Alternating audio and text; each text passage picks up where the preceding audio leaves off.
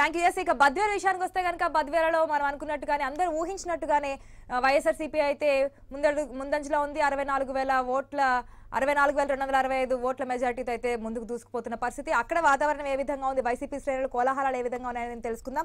కరీంనగర్ కడ- కడప నుంచి మా ప్రతినిధి శ్రీనివాస్ ఫోన్ అని సిద్ధంగా ఉన్నారు శ్రీనివాస్ ప్రస్తుతం ఏడు రౌండ్లు పూర్తయ్యేసరికి కూడా వైసీపీ హావనే నడుస్తుంది. రౌండ్ కూడా నిరుత్సాహపరచడం లేదు. ప్రతి రౌండ్లో కూడా దాదాపు అంటికిన భారీ మెజార్టీ తీసుక అడుగులేస్తూ ప్రస్తుతం కూడా అరవై వేల ఏడు వందల అరవై ఐదు ఆధిక్యంలో ఆ, వైసీపీ అభ్యర్థి డాక్టర్ సుధా గారు ఉన్నారు. ప్రస్తుతం బీజేపీ అభ్యర్థి కూడా దాదాపు పద్నాలుగు వేల రెండు వందల ఇరవై ఆరు ఓట్లు మాత్రమే పోలేనట్టు తెలుస్తుంది. దాదాపు వాళ్ళు అనుకున్న బీజేపీ అధిష్టానం కూడా దాదాపు ఇరవై ఐదు వేల ఓట్లు ఆ, దిశగా వస్తాయని చెప్పి పక్క ప్రణాళికతో ఉండడం ఆ దిశగానే బీజేపీ అభ్యర్థి పనతల సురేష్ కూడా ఆ వైపు నడుస్తున్నారని చెప్పవచ్చు. అయితే ప్రతి రౌండ్కు ఏ రౌండ్కు కూడా మెజార్టీ తగ్గడం లేదు. భారీ మెజార్టీ అంటే దాదాపు పది ఆ, పదివేల మెజార్టీ కూడా సాధించడం ఇక్కడ చెప్పుకోదగ్గ విషయము. అయితే ఇక్కడ ఉన్నటువంటి దాదాపు వైసీపీ అధిష్టానం ఏ వీరు ఏ విధంగా అడుగులేసిందో ఆ విధంగా కూడా లక్ష మెజార్టీ దిశగా కూడా ప్రస్తుతం వైసీపీ అభ్యర్థి డాక్టర్ సుధా వీస్తున్నా అని చెప్పి నడుస్తున్నారని చెప్పవచ్చు. మరో మూడు రౌండ్లు మిగిలింది దాదాపు యాభై వేల ఓట్లు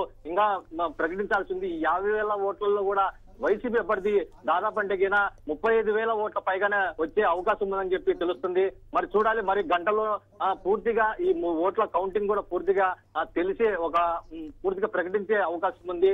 భారీ మెజార్టీ అంటే దాదాపు ఎనభై ఐదు నుంచి తొంభై వేల ఓట్ల మెజార్టీ కూడా వైసీపీ కైవసం చేసుకునే అవకాశాలు అయితే ఎంతైనా కనబడుతుంది ఎస్ మరి అక్కడ ఆల్రెడీ విజయవాడలో కావచ్చు చాలా పార్టీ కార్యాలయాల్లో అటు వైఎస్ఆర్సీపీ అభిమానులు అభ్యర్థులు నాయకులు కోలాహలాల మధ్య ఉన్నట్టుగా తెలుస్తుంది. అటు కోవిడ్ నిబంధనల మధ్య ఉండాలని చెప్పేసి కూడా ఆల్రెడీ కొన్ని ఆంక్షలు కూడా ఉన్నాయి కాబట్టి ఏ విధంగా జరుగుతుందంటారు అక్కడ? పరిస్థితి? ప్రస్తుతం జిల్లా ఎస్పీ అనురాగం కూడా ఒక కీలక ప్రకటన చేశారు. ఎవరైనా కానీ ఈ విజయోత్సవాల్లో కూడా ఎవరు పాల్గొనకూడదు. కేవలము పార్టీ ఆఫీసులలోనే సంబరాలు చేసుకోవాలని చెప్పి కీలక ప్రకటన చేశారు. అట్లా ఎవరైనా నడిచిన అతిక్రమించిన కేసులు కూడా నమోదు చేస్తామని చెప్పి కీలక ఆదేశాలు జారీ చేస్తూ ప్రస్తుతం కూడా కడప జిల్లాలో కూడా వైసీపీ శ్రేణుల్లో అంబరాన్ని సంబరాలు కూడా అంబరాన్ని అంటున్నాయి. ప్రధానంగా ఎవరు కూడా రూల్స్ ఏదంటే కరోనా రూల్స్ కూడా బ్రేక్ చేసి వాళ్ళు ముందుకు రావడం లేదు. వీధులలోకి రావడంలో రోడ్ల మీద రావడం కేవలము పార్టీ కార్యాలయాల్లోనే ఇళ్ళలోనే కూడా ఈ నాయకులు చెందినటువంటి ఇళ్ళలోనే ఈ సంబరాలు చేసుకుంటున్నారు. ప్రస్తుతం వీళ్ళు అనుకున్నట్టు భారీ మెజార్టీ దిశగా అడుగులేస్తున్నారు.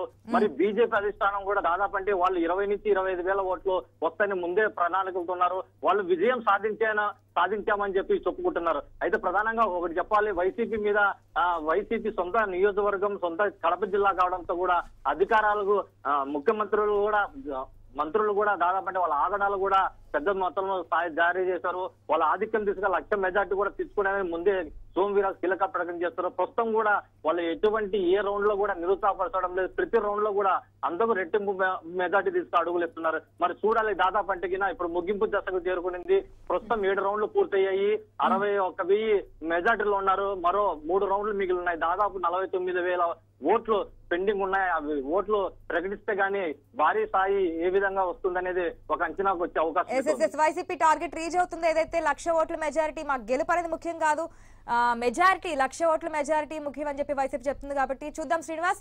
మరొకసారి మళ్ళీ మేము మళ్ళీ మిమ్మల్ని కాంటాక్ట్ అవుతాం. ఎస్ మనం చూస్తున్నాము మూడు రౌండ్లు ఇటు హుజురాబాద్లో మూడు రౌండ్ల ఫలితాలు అయితే వచ్చాయి. మూడు రౌండ్లు పూర్తయ్యేటప్పటికి బీజేపీ లీడ్లో ఉన్నట్టు తెలుస్తుంది. ఈటల రాజేందర్ మొత్తంగా ఆ, పన్నెండు వందల అరవై తొమ్మిది ఓట్ల ఆధిక్యంతో ముందుకు వెళ్తున్నారు. కాసేపట్లోనే మరికొన్ని నిమిషాల్లోనే నాలుగవ రౌండ్ ఫలితాలు కూడా వెలువడే అవకాశం